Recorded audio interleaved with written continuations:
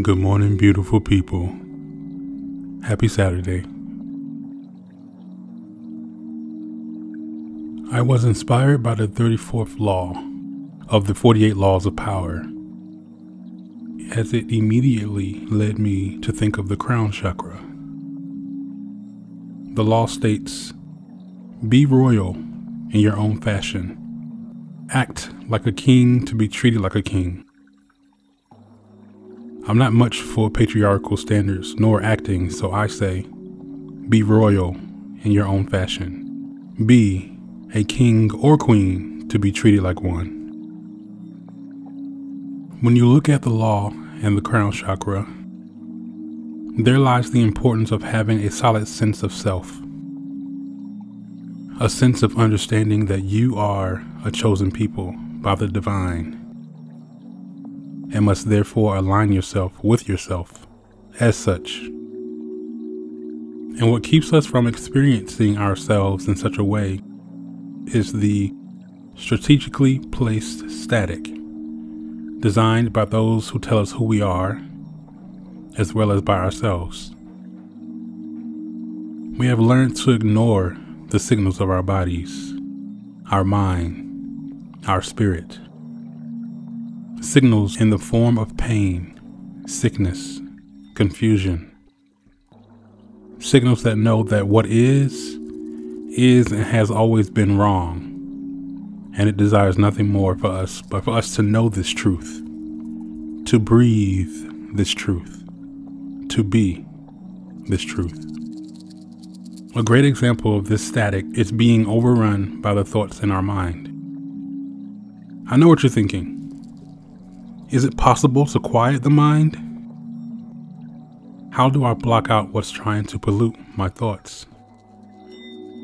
Many of us struggle with the loud stumbling of thoughts, one after the other, colliding with an endless sea of questions, sounds, and images so violently that they eat away at our long term memory, eat away at our identity eat away and manipulate how we see the world, which in turn blinds us from being able to see ourselves. As mentioned in a previous episode, it is very important to be mindful of what we feed our eyes and our ears because both lead to the mind. And just as significant, we have to be mindful of what we allow ourselves to believe about us.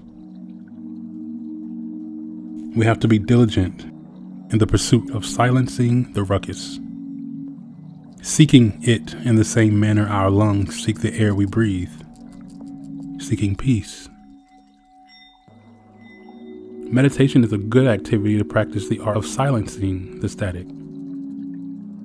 And what discourages many from doing this is because we think there is only one way to do it.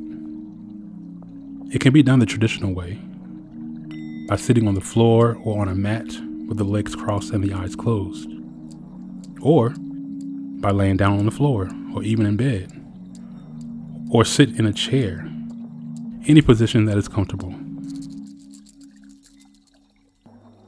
The focus of the meditation can be on one's natural rhythm of breathing, allowing the mind to roam freely with the idea of finding the important messages hidden in the chaos, or on a meditative sound that can be found on YouTube.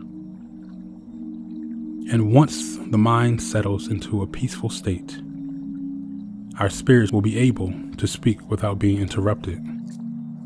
Thus, beginning our transformation into realigning who we actually are with supreme confidence and belief in ourselves. And with this, the discovery of what makes us unique and different from one another allowing it to be so contagious that it inspires those we come across to do the necessary work so that they too can connect with their royalty. So that we can eliminate the ideology that there isn't enough resources for everyone to have their own kingdoms and queendoms. Eliminating the phrase, heavy is the head that wears the crown, because we'd wear it together. I love you all.